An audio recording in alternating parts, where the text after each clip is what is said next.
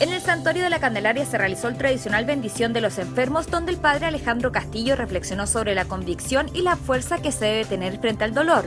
Queremos vivir este sacramento de la reconciliación y la unión, ponernos frente al Señor nuestra esperanza de vida eterna, fortaleza nuestra fragilidad y alegría cuando la vida se pone triste, dijo.